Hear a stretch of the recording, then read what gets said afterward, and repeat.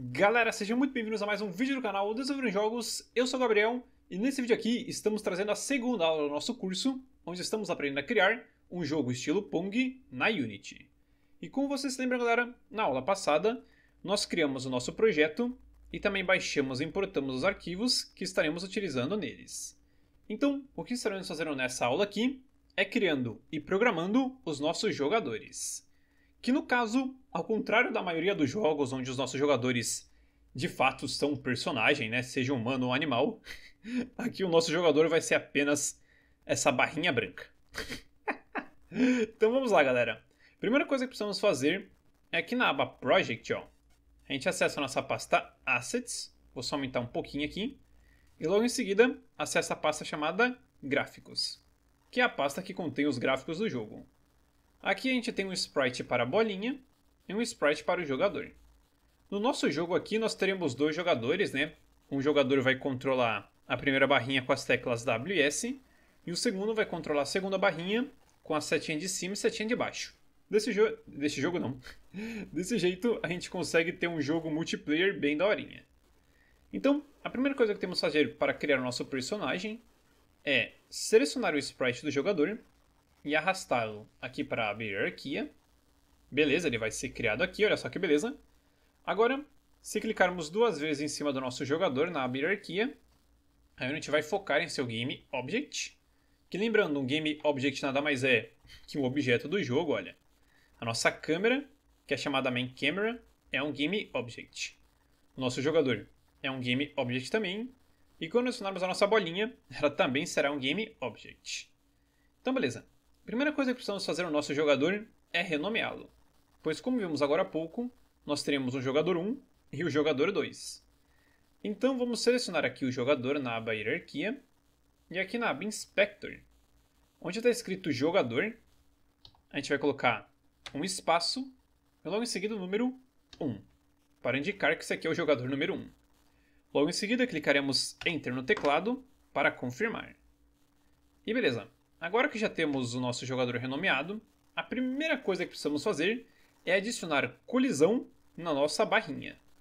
Pois no momento, se viermos aqui em cima e clicarmos no play, nosso jogo vai sim começar a rodar, mas absolutamente nada vai acontecer.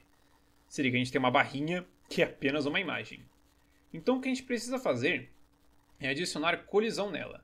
Desse jeito, quando a nossa bolinha bater nela, a bolinha de fato vai bater nela, ao invés de simplesmente vou passar direto. Então vamos lá que, por mais complicado que possa parecer adicionar colisão, é bem simples, olha. Tudo que a gente tem que fazer é selecionar o nosso jogador 1 e aqui na aba Inspector, vocês estão vendo esse botãozinho chamado Add Component? Então a gente clica nele, pois ele nos permite adicionar um componente no nosso Game Object. E lembrando que a Unity tem diversos componentes, componentes de física, de colisão, de render, de som, de interface usuário. Aí a gente pode adicionar um montão de coisas. Mas aqui, tudo que nós queremos adicionar é um componente de colisão. Então, vamos clicar aqui em Add Component e na barrinha de pesquisa vamos procurar por Collider com dois L's. Com isso, a Unity nos mostrará uma infinidade de opções aqui de colliders, olha. A gente tem um Box Collider, que é para projetos 3D, Box Collider 2D, tem um Capsule Collider, Capsule Collider 2D, Circle Collider, Composite Collider, Edge Collider e mais um monte de outros.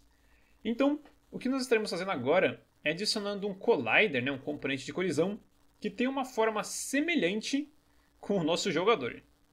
No caso, não tem nenhum colisor retangular, mas sem problemas, a gente pode escolher um, um colisor quadrado, que a Unity ajeita tudo sozinha. Então vamos escolher a opçãozinha chamada Box Collider 2D. Vamos clicar em cima dela. E pronto! Agora o nosso jogador já tem como colidir com a bolinha. Talvez não dê para ver direito, ó. Mas se viermos aqui na aba Inspector e clicarmos no botãozinho chamado Edit Collider, veremos que surgirão umas quatro linhas verdes em torno do nosso sprite do jogador, e essas linhas verdes representam a colisão do objeto. Ou seja, onde tem linha verde, tem colisão. E agora, se a bolinha chegar e bater nessa linha verde, a Unity vai falar: opa, a bolinha bateu em alguma coisa, então tenho que mandar ela de volta para o outro lado. Então, beleza. Tendo visto essas linhas verdes, podemos novamente clicar aqui em Edit Collider, já que a gente não quer editar ele. E agora que já temos o nosso jogador 1, o que podemos fazer é dar uma posicionada nele, né? Então vamos selecionar aqui a Move Tool, que fica aqui na barrinha de cima. Agora a gente vai pegar essa setinha vermelha e com a tecla Ctrl pressionada no teclado, vamos movimentar o nosso mouse. Desse jeito a gente consegue movimentar nosso jogador de pouquinho em pouquinho. Porque na Unity a gente pode movimentar simplesmente pegando na seta, a gente movimenta numa boa.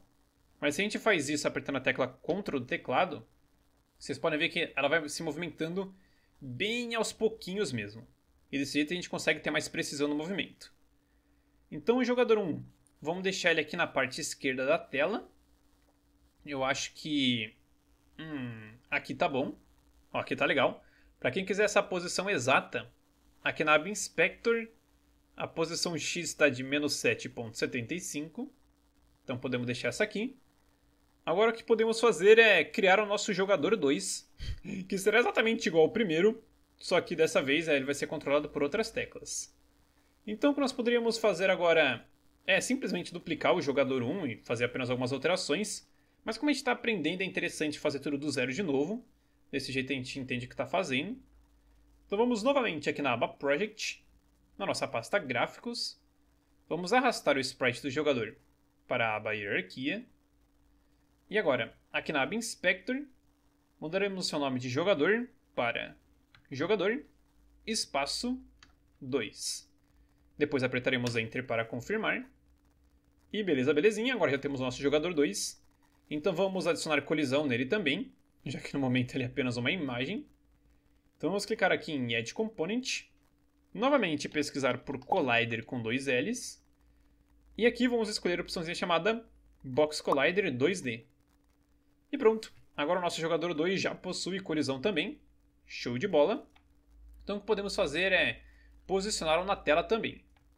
Então vamos pegar o jogador 2, pegar a Move Tool, clicar na setinha vermelha e com a tecla Ctrl pressionado no teclado, vamos trazer o jogador 2 para a parte direita da tela.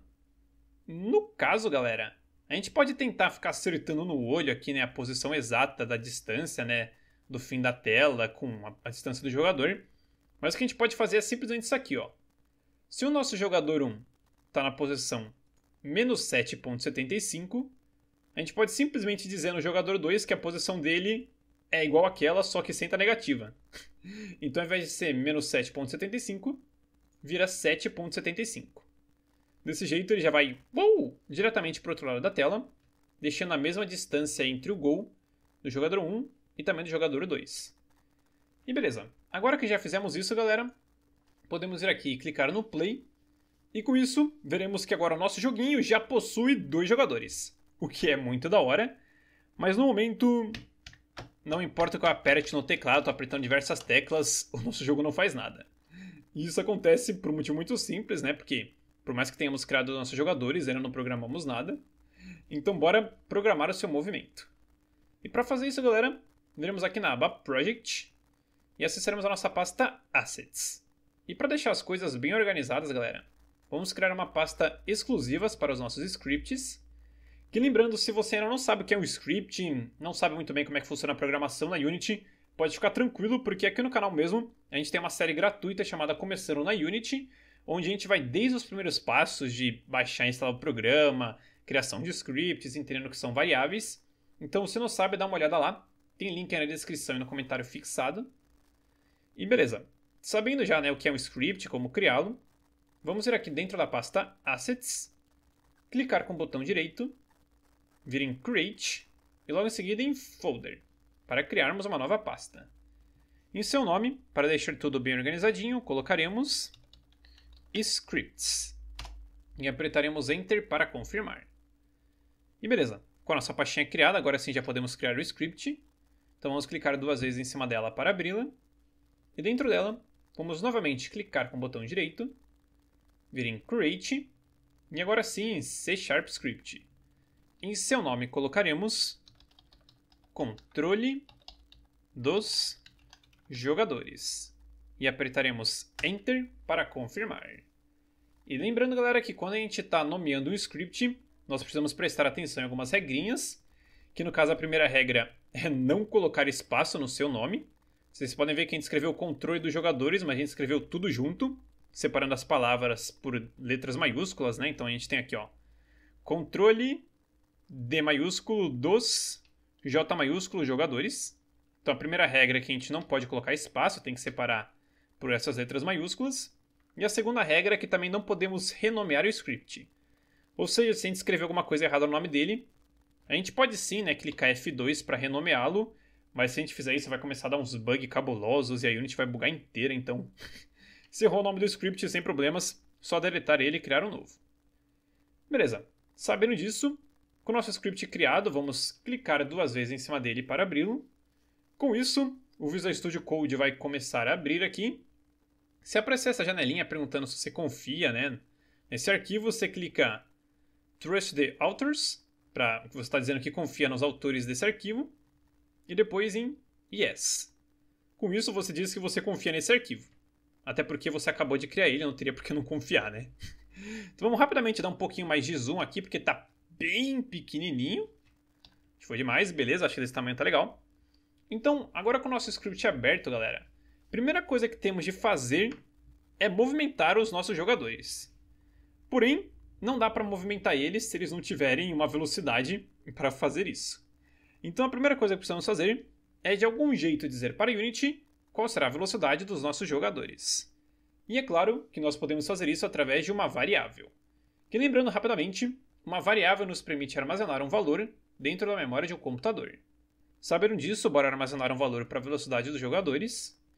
Então, aqui no nosso script, acima do método start, mas ainda abaixo do nome do script, nessa linha aqui digitaremos public, para que possamos visualizar e editar essa variável na aba Inspector da Unity.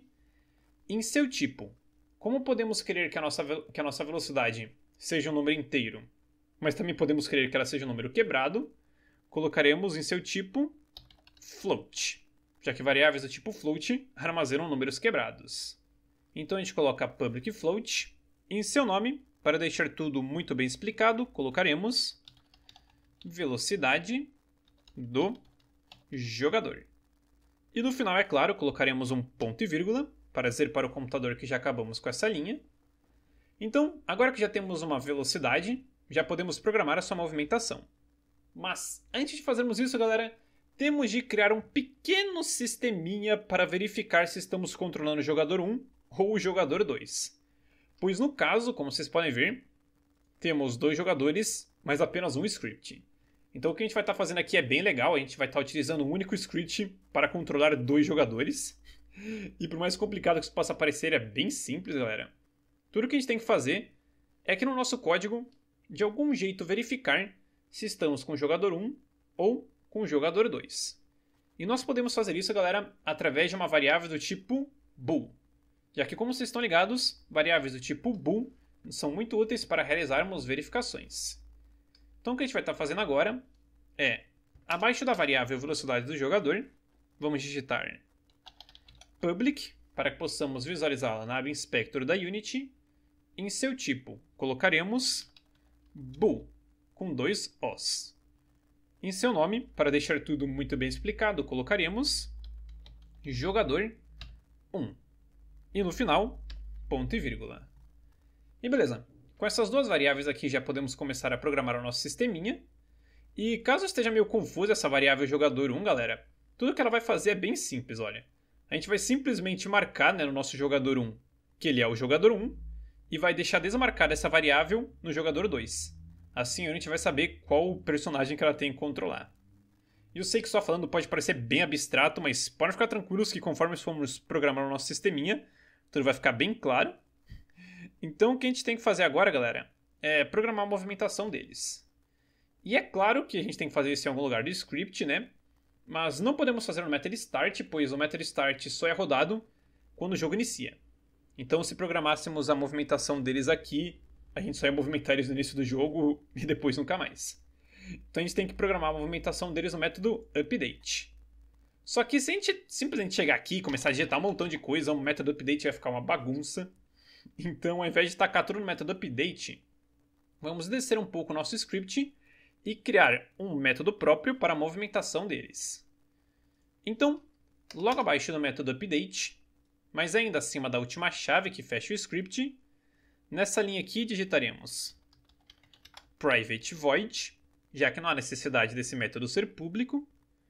Em seu nome colocaremos mover jogador 1. Abre e fecha parênteses e na linha de baixo abre e fecha chaves. E lembrando que quando a gente coloca o nome em um método, ele também não pode conter espaços, olha. Separamos com letras maiúsculas aqui. Então, agora que já temos um método para movimentar o jogador número 1, vamos de fato programar esse método. Então, o que queremos fazer aqui é bem simples. Tudo que a gente quer fazer é verificar se as teclas W e S foram apertadas. E desse jeito, se a tecla W for apertada, a gente movimenta o jogador para cima, e se a tecla S for apertada, a gente movimenta ele para baixo.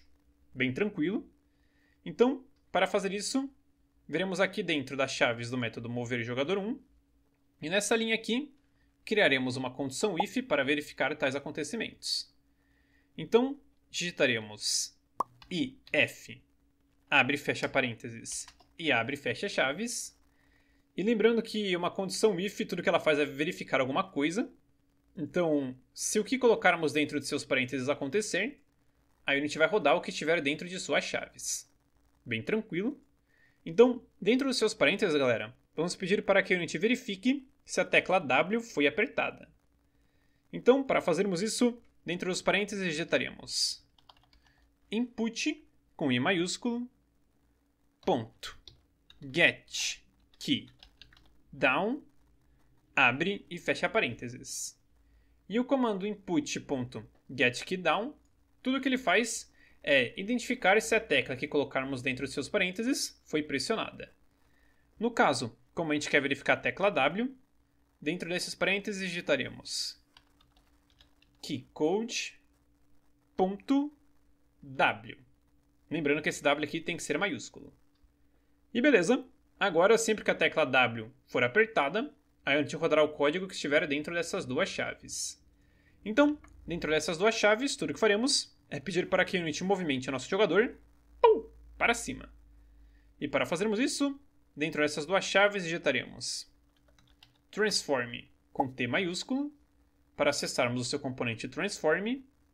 Depois colocaremos ponto e o comandinho translate. Abre e fecha parênteses. E lembrando que através do comando translate, nós podemos pedir para que a Unity movimente o nosso game object em alguma direção. E aqui no caso, galera, ó, se voltarmos na Unity e selecionarmos nosso jogador número 1, veremos que queremos movimentá-lo para cima ao apertarmos W.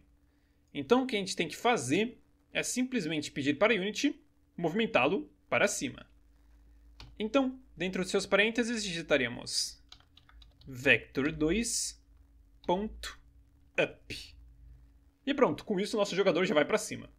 e lembrando rapidamente que um vector 2 ele faz referência aos eixos horizontais e verticais de um game object. Ou seja, aqui na Unity, olha, a gente pode ver no componente transform, na inspector, que a sua posição tem três eixos. Tem a posição x, y e z. Aqui no nosso curso a gente não precisa se preocupar com a posição z, porque a posição z a gente só usa em jogos 3D. Então, como é um jogo 2D, a gente só precisa se preocupar com dois eixos, que seria o x, que é horizontal, e o y, que é vertical. Então, quando a gente diz para a Unity acessar o vector 2 de um game object, a gente está falando para ela acessar o eixo x e y. Só isso. Então, como a gente falou, vector2.up, como up em inglês é cima, a gente vai pegar uh, e movimentá-lo para cima. Então, agora a gente precisa dizer para a Unity em qual velocidade que ela deve fazer isso, já que no momento o nosso jogador vai ficar parado.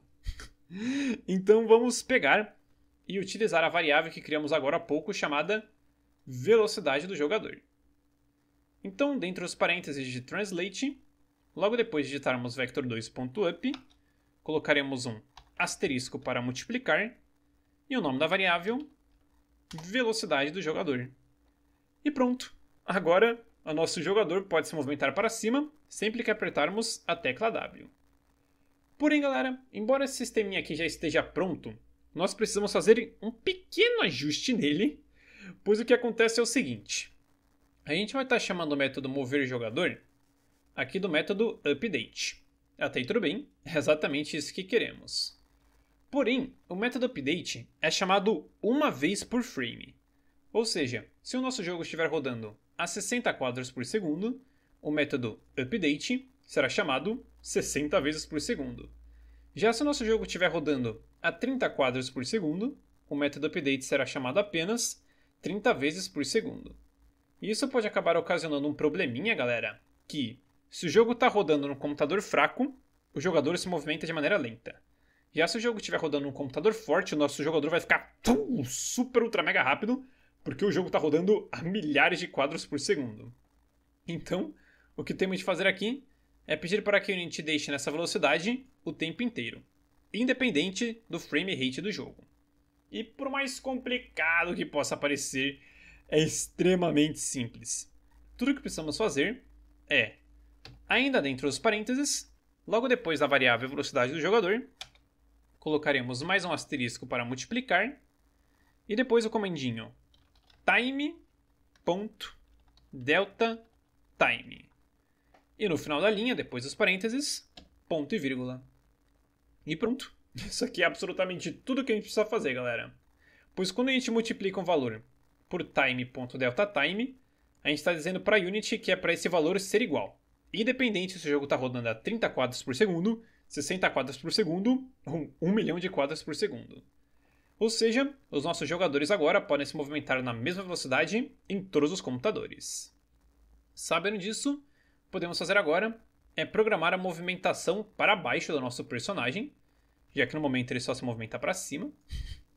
E no caso a gente pode fazer isso basicamente do mesmo jeito que a gente fez aqui, só que ao invés de identificarmos a tecla W, vamos identificar a tecla S. Então, vai um pequeno desafio aqui da aula. Se você já tem uma ideia de como fazer isso, pause ela agora e faça já. Caso ainda não saiba, está tudo bem, pois faremos isso juntos agora mesmo. Então vamos lá. Logo depois dessa condição if aqui, mas ainda dentro das chaves do método mover jogador 1, criaremos uma nova condição if e dentro de seus parênteses digitaremos input com i maiúsculo ponto get key down, abre e fecha parênteses. E dentro desses parênteses colocaremos o comando keycode.s maiúsculo, já que agora queremos identificar a tecla S. E agora, sempre que a tecla S for apertada, a Unity rodará o código que estiver dentro dessas duas chaves. Então, tudo que temos de fazer aqui é exatamente a mesma coisa, só que ao invés de pedir para mover o jogador para cima, a gente vai pedir para mover para baixo. Sabendo disso, dentro dessas duas chaves digitaremos transform com T minúsculo para acessarmos o seu componente transform, depois ponto translate, abre e fecha parênteses. E dentro desses parênteses digitaremos vector 2 para acessarmos os seus eixos x e y. E agora, como queremos movimentá-lo para baixo, colocaremos ponto down já que down em inglês é baixo. E pronto, só isso. Com vector 2.down a gente movimenta o game object para baixo. Então vamos agora dizer em qual velocidade que ela deve fazer isso. Então logo em seguida colocaremos um asterisco para multiplicar e o nome da variável velocidade do jogador. E por fim, para que o jogador se movimente na mesma velocidade em todos os computadores, colocaremos mais um asterisco e o comandinho time.time delta time. E no final, ponto e vírgula. E beleza, galera. Com isso aqui, já podemos agora movimentar o nosso jogador 1. Então, antes de testar esse sisteminha, galera, vamos rapidamente programar a movimentação do jogador 2, que vai ser idêntica, só que ao invés de identificarmos a tecla WS, a gente vai identificar as setinhas de cima e baixo. Então, para fazermos isso, logo abaixo do método mover jogador 1, mas ainda acima da última chave do script, digitaremos private void, já que não há necessidade desse método ser público, e em seu nome colocaremos mover jogador 2. Abre e fecha parênteses e abre e fecha chaves. E agora, galera, tudo que temos de fazer é identificar se a setinha de cima foi apertada. E para fazer isso é bem simples, vocês já estão ligados, ó. A gente vem e cria uma condição if para verificar se alguma coisa aconteceu. E dentro de seus parênteses, a gente vem e digita input com i maiúsculo ponto get key down abre e fecha parênteses.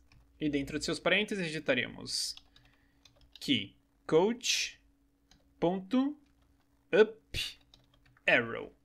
Que em inglês, né, up é cima e arrow é flecha. Então, up arrow significa setinha de cima. E beleza, agora sempre que a setinha de cima for pressionada, a Unity rodará o código que estiver dentro dessas duas chaves. Então vamos fazer a mesma coisa que fizemos aqui em cima, né? Que, ou seja, vamos pedir para movimentá-lo para cima. Então dentro de suas duas chaves digitaremos transform com T maiúsculo, ponto translate, abre e fecha parênteses. Dentro de seus parênteses digitaremos vector2 ponto up para movimentá-lo para cima. Agora a gente coloca um asterisco para multiplicar e o nome da variável, velocidade do jogador. E para garantir que o jogador se movimente na mesma velocidade em todos os computadores, colocaremos mais um asterisco e o comandinho time.deltaTime. E no final da linha, ponto e vírgula, para dizermos para a Unity que já terminamos com essa linha. Beleza, belezinha. Agora já temos o jeito de movimentar o jogador 2 para cima. Então vamos agora na linha de baixo, criar uma condição if para verificar se apertamos a tecla de baixo. Então, novamente mais uma condição if e dentro de seus parênteses, novamente, input com i maiúsculo, ponto, get key down, abre e fecha parênteses. E dentro de seus parênteses colocaremos key code ponto down arrow. E beleza. Agora, sempre que a setinha de baixo for apertada, a Unity rodará o código que estiver dentro dessas duas chaves. Então, dentro delas, vamos simplesmente pedir para movimentar a barrinha para baixo. Então, nessa linha, vamos digitar transform.translate, abre e fecha parênteses, e dentro dos parênteses colocaremos o comandinho vector2 down. E é claro, um asterisco para multiplicar. E o nome da variável velocidade do jogador. Mais um asterisco para multiplicar. E o comandinho time.deltaTime. E no final, ponto e vírgula. E beleza, galera. Agora já temos um método para movimentar o primeiro jogador e o outro para movimentar o segundo jogador. Ou seja, tudo que precisamos fazer agora é pedir para que Unity rode estes métodos. Então temos de fazer isso aqui no método update. Porém, a gente não pode simplesmente chegar e digitar aqui, né, jogador 1 e jogador 2. Pois o que pode acabar acontecendo é que quando o jogador 2 apertar a setinha de cima, ele vai sim movimentar o jogador 2 para cima, mas ao mesmo tempo vai movimentar o jogador 1 para cima, pois ele também possui essa programação aqui. Então o que a gente tem que fazer é de algum jeito verificar se a gente está com o jogador 1 ou o jogador 2. E aí, se tivermos com o jogador 1, a gente roda esse método aqui. Se tivermos com 2, a gente roda o outro. E pode ficar tranquilos que fazer essa verificação é bem simples. Foi justamente por isso que a gente criou essa variávelzinha chamada jogador1. Então vamos utilizá-la agora. Ó. Então aqui dentro do método update, que lembrando é chamado uma vez por frame, tudo que temos de fazer é criar uma condição if e dentro de seus parênteses verificar se estamos controlando o jogador 1 ou o 2.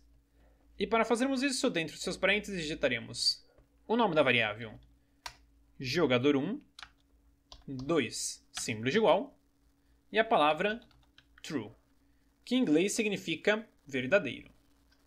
E beleza, agora sempre que o valor da variável jogador1 for verdadeiro, a Unity rodará o código que estiver dentro de suas chaves, e rapidamente a gente pode reparar ó, que aqui nessa verificação nós colocamos dois símbolos de igual. E nós fizemos isso porque na programação, quando a gente coloca um símbolo de igual, a gente está passando um novo valor. Já quando a gente coloca dois, a gente está querendo comparar. Então aqui, ao invés de passarmos o valor de verdadeiro para a variável jogador 1, a gente está simplesmente verificando se o valor dela é verdadeiro. Se for, significa que a gente está com o jogador 1. Se for falso, significa que a gente está com o jogador 2. Então, como aqui a gente está verificando se é verdadeiro, dentro de suas chaves, vamos pedir para que a gente rode o método mover jogador 1. Então, dentro delas, vamos digitar mover jogador 1, abre e fecha parênteses e ponto e vírgula. E beleza, agora o nosso jogador só vai se movimentar com o WS se ele for o jogador 1. Então vamos agora verificar se essa variável aqui é falsa. E se for, a gente pode rodar o método mover jogador 2. E para fazer isso, nós poderíamos sim criar uma outra condição if para verificar se o valor daqui é falso. Mas o que nós estaremos fazendo agora é aprender uma coisinha diferente, que no caso, ao invés de criarmos uma nova condição if, estaremos criando uma condição else. Que explicando rapidamente, galera, uma condição else, tudo que ela faz é verificar exatamente o contrário da condição if. Ou seja, se nessa condição if a gente está verificando se o valor da variável é verdadeiro, a condição else vai verificar se ele é falso. Já se a gente estivesse verificando se o valor é falso, a condição else verificaria se ele é verdadeiro, pois a condição else sempre verifica o contrário da if. Isso é muito útil, porque agora, ao invés de criarmos uma nova condição if e verificar se o valor é falso, a gente pode simplesmente usar else, que ela vai verificar automaticamente se é falso, porque ela verifica sempre o contrário.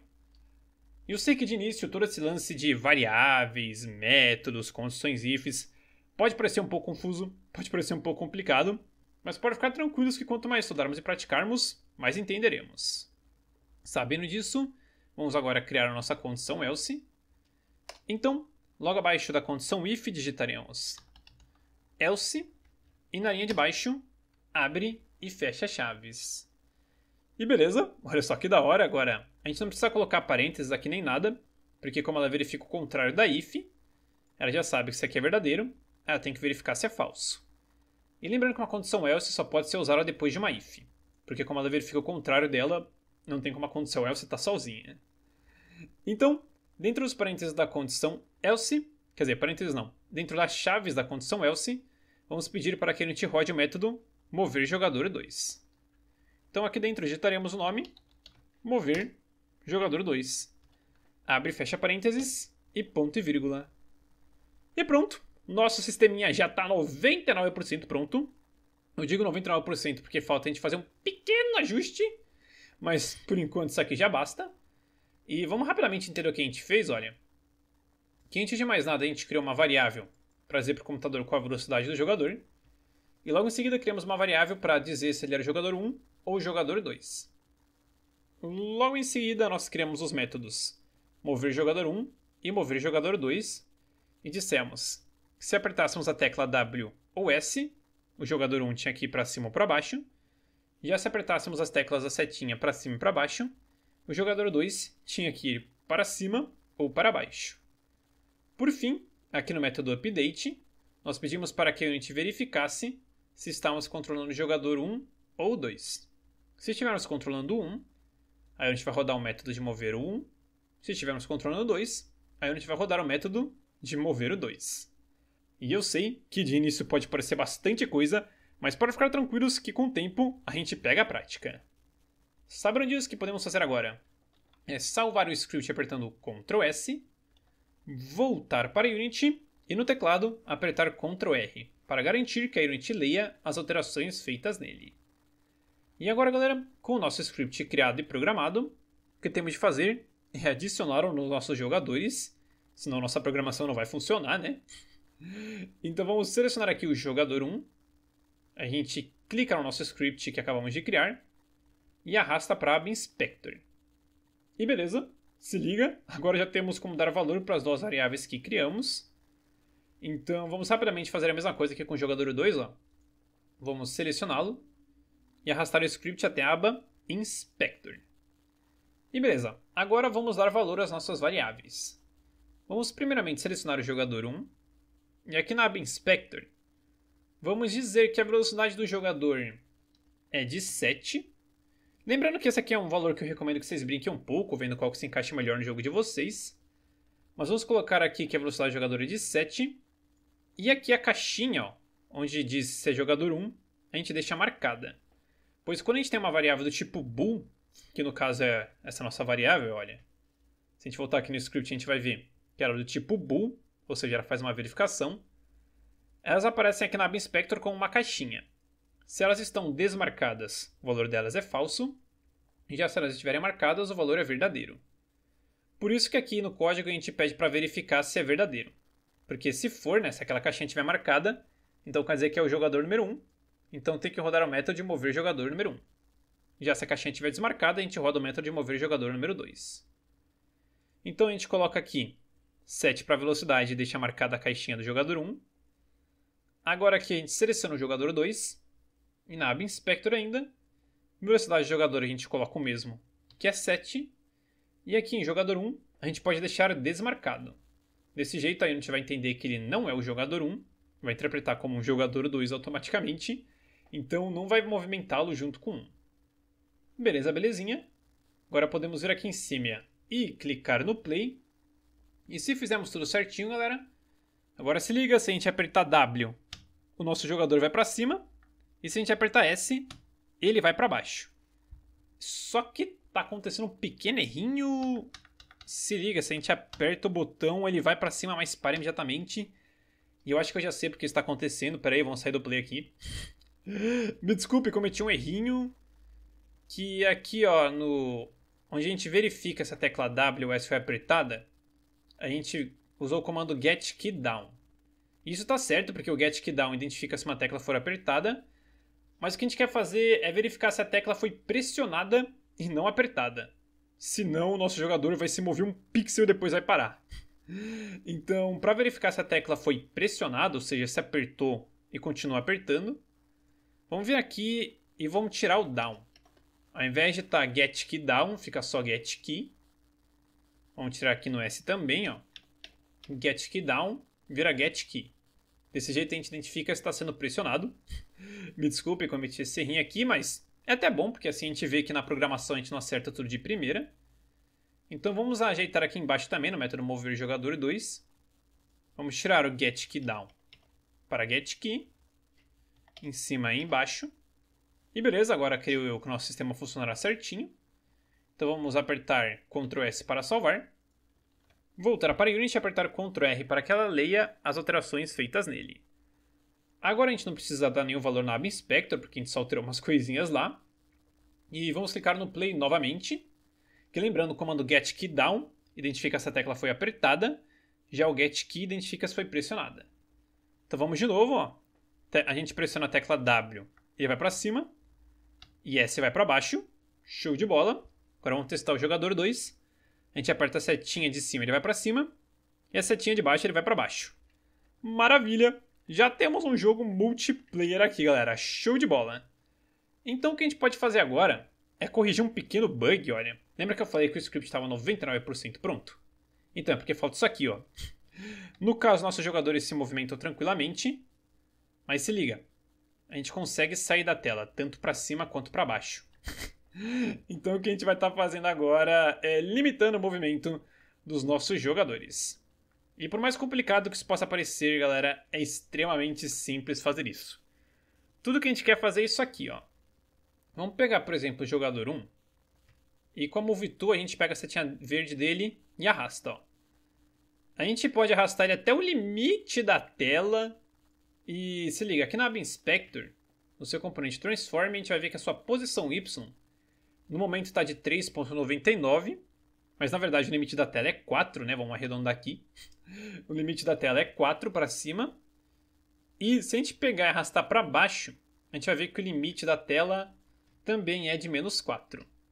Ou seja, tudo que a gente tem que fazer é pedir para a Unity movimentar a limitação do nosso jogador entre o menos 4 negativo e o 4 positivo. Então, bora lá fazer isso. Vamos voltar aqui para o centro. Fazer isso, galera, também é bem tranquilo. Como vocês podem imaginar, nós podemos fazer isso através de variáveis, né? Então vamos subir o nosso script. E aqui acima do método start, mas abaixo da variável jogador1, criaremos uma nova variável digitando public, para que possamos visualizá-la na aba inspector da Unity.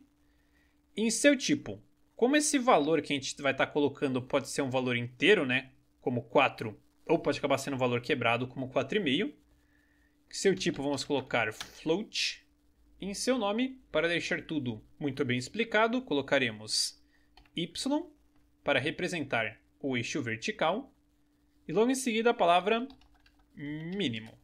Ou seja, essa variável aqui, nós armazenaremos o valor mínimo do y, que como vimos agora há pouco, é menos 4. Então a gente digita y mínimo e coloca ponto e vírgula. Lembrando que a primeira letra da variável é minúscula, então a gente tem um y minúsculo. E a variável, além de não conter espaços, não contém acentos. Então não é mínimo, é mínimo. então a gente coloca y mínimo. Agora na linha de baixo a gente digita a mesma coisa. Ó. Public float. Em seu nome colocaremos y agora máximo, que seria o 4 positivo. Então a gente vem aqui e coloca ponto e vírgula no final. E agora tudo que a gente tem que fazer é limitar a posição y do nosso jogador. E para fazer isso, galera, é bem tranquilo. Olha, a gente desce o nosso script até o método mover jogador 1. E antes de utilizarmos a nossa condição if aqui, vamos pedir para a Unity limitar a posição y. E para fazer isso, digitaremos transform.position para acessarmos a posição do seu componente transform. Agora colocaremos um único símbolo de igual, já que dois símbolos de igual representam verificação, enquanto um a gente dá um novo valor. Então a gente coloca um símbolo de igual e logo em seguida new vector 2 para criarmos um novo vetor 2, ou seja, um novo x e y, abre e fecha parênteses. E dentro dos seus parênteses digitaremos transform.position.x para dizermos para a Unity que queremos que o seu eixo x permaneça igual ao eixo x dele normalmente, que no caso eu acho que é o 7.75. Então a gente deixa o eixo x desse jeito. E depois, ainda dentro dos parênteses, a gente coloca uma vírgula. E agora, para limitar o seu eixo y, utilizaremos o comandinho mathf.clamp. Abre e fecha parênteses. Esse comando aqui, ó, math f significa uma função matemática. E o clamp, em inglês, seria tipo limitar. Então o que a gente está fazendo aqui é utilizando uma função matemática para limitar o movimento. E por mais absurdo que isso possa parecer, é extremamente simples. Tudo que a gente tem que fazer aqui é, dentro dos seus parênteses, dizer o que nós queremos limitar e o valor mínimo e máximo. No caso, a gente quer limitar a posição y nos valores y mínimo e y máximo que acabamos de criar. Então, bora lá fazer isso. Então, dentro de seus parênteses, digitaremos transform.position.y para acessarmos o eixo y do nosso game object. Agora uma vírgula. E para o valor mínimo colocaremos o nome da variável y mínimo. E mais uma vírgula. E para o valor máximo colocaremos o nome da variável y máximo. E no final, ponto e vírgula. E pronto. Só isso que a gente precisa fazer para limitar a movimentação, galera. Dando uma explicadinha rapidona que a gente fez, ó. Transform.position, a gente acessa a posição do nosso game object. E o comandinho new vector 2, a gente passa uma nova posição para ele. No caso, a gente disse que a sua posição x, né, o seu eixo horizontal, deve ser o eixo horizontal atual, que é o cantinho que ele já está aqui, né, o menos 7 e o 7 positivo. Então a gente diz que a sua posição x é igual. E depois aqui no eixo y, nós utilizamos o mathf.clamp para limitar a sua posição y entre um mínimo e o um máximo, que no caso é menos 4 e mais 4. E com isso agora a Unity já movimenta o nosso pedal, né, o nosso jogador livremente, mas sem sair da tela. Beleza, só isso que a gente tem que fazer. Então vamos fazer agora a mesma coisa aqui no método mover jogador 2. Então, antes de mais nada, logo antes da condição if, digitaremos transform.position para acessarmos a sua posição, um símbolo de igual, new vector 2, abre e fecha parênteses, e dentro de seus parênteses colocaremos transform.position.x para dizermos que queremos que seu eixo x fique parado, agora uma vírgula, E para o eixo Y colocaremos math f, m-a-t-h, f, ponto, clamp. Abre e fecha parênteses. E dentro de seus parênteses colocaremos novamente transform.position.y para acessarmos o seu eixo y, vírgula, y mínimo para o valor mínimo, vírgula, y máximo para o valor máximo. E no final, ponto e vírgula. E beleza, isso aqui é tudo que a gente tem que fazer, galera, para limitar a movimentação. Então podemos fazer agora é salvar esse script apertando Ctrl S, voltar para Unity e apertar Ctrl R para que ela leia as alterações feitas nele. E agora vamos dar valor às variáveis que acabamos de criar, né? A gente pode ver aqui que já tem como dar valor na Inspector, então vamos lá só conferir. Selecionar o jogador 1 e ver aqui, ó, o valor mínimo que a gente quer, pegando bem na base, é menos 4, a gente pode arredondar. E o valor máximo, é claro, como é um retângulo, né? É 4 positivo. Então vamos selecionar o jogador 1 e aqui na aba Inspector, no script Controle dos Jogadores, em Y mínimo a gente coloca menos 4, em Y máximo 4 positivo. Beleza, agora vamos fazer a mesma coisa aqui no jogador 2. Então ainda na aba Inspector, Y mínimo fica menos 4, já que a altura dele é a mesma da do jogador 1, e Y máximo 4. E galera, prestem bastante atenção de não trocar os valores, né? De não colocar o menos 4 no 4 e o 4 menos 4, porque dependendo do caso pode dar uns bugs bem cabulosos. então deixa desse jeitinho aqui. Agora podemos vir aqui em cima e clicar no play. E olha só que maravilha! Se liga, agora nossos jogadores não saem mais da tela. Não importa quanto a gente tente, se liga, nossos jogadores não saem mais o que é exatamente o que queremos. Então acabamos de aprender aí um jeitinho bem interessante de limitar a movimentação através do código. Show de bola, galera. Então o que a gente pode fazer uma última coisinha bem rapidinha. Essa aula está ficando bem grandinha. Mas eu queria fazer tudo nessa aula aqui em relação aos jogadores. Desse jeito o curso fica bem estruturado. O que a gente pode fazer é mudar a cor do nosso fundo. Porque o Pong são objetos brancos numa tela preta, né? Cria um contraste bem legal. Só que essa tela azul aqui não tá nada legal. então para deixar ela preta bem simples, olha. A gente vem aqui, seleciona a nossa main camera.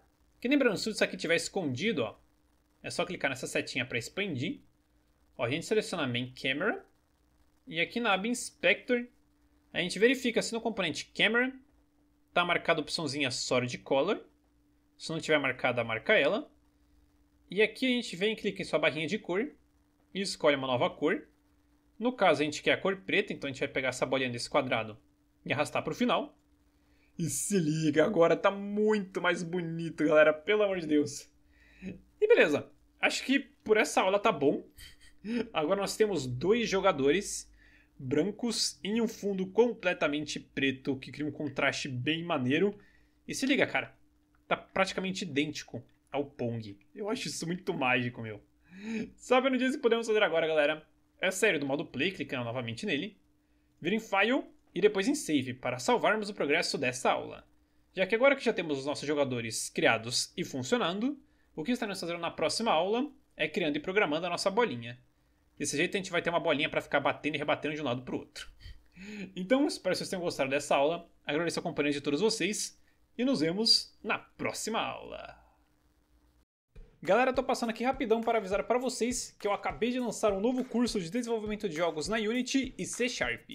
nesse curso nós estaremos aprendendo como desenvolver um jogo FPS retrô, tipo Wolfenstein 3D, Doom e esses jogos maneiros que a gente jogava antigamente. Então, se você tiver afim de saber como funciona esse tipo de jogo e como desenvolver na Unity, tem link para adquirir o curso aí na descrição e também no comentário fixado. E era isso, galera. Muito obrigado à companhia de todos vocês e até a próxima. Fui!